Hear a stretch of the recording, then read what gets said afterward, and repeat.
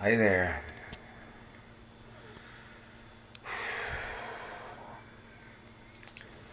This is the Gee Man, his journeys of lithium. Uh, still a Yule.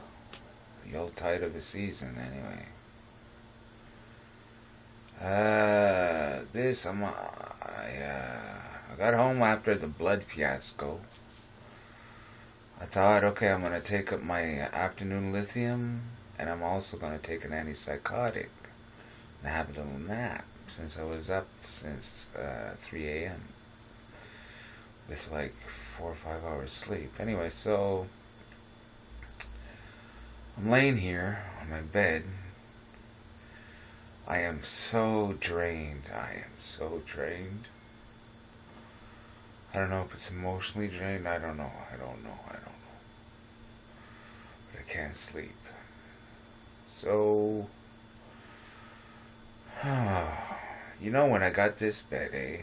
I thought of, hmm, what's that? My bed of suffering, you know? If you're gonna suffer, you might as well do it in style.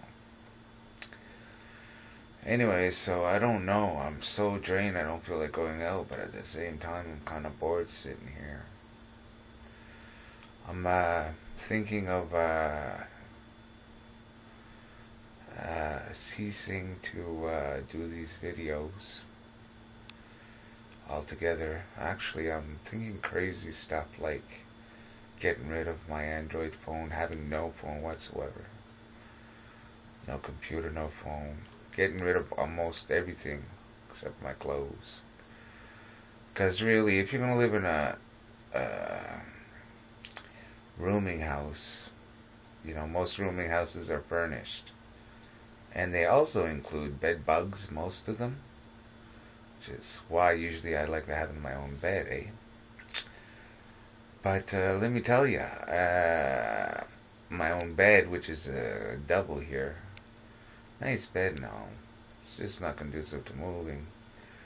So I'm thinking of getting rid of almost everything I have. Because let me tell you, I can't, you know, this phone, it's, it's crazy expensive. And uh, I don't know, I can always walk to my doctor to make an appointment direct.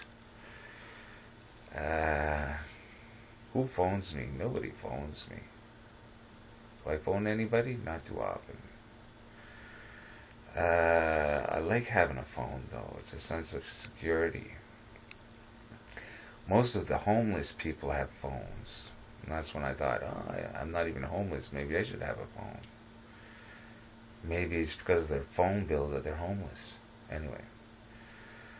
Uh, I'm probably going to go somewhere because I'm laying here in silence just uh, burnt out. Uh, oh yeah, I was hoping I might luck out and make a doctor's appointment before they close, but I guess they're closed for two weeks now. So I'll have to wait till January, the second week in January to just make the appointment. I don't know. I'm uh, I'm hoping things calm down because I'm I'm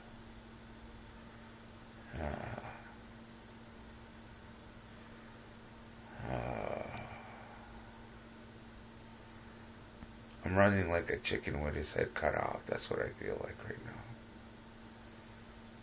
Anyway, uh, this might be the last video. I almost feel like doing something crazy, just destroying it all. But anyway, I don't know what to do. I don't know what to do. I probably won't do nothing anyway.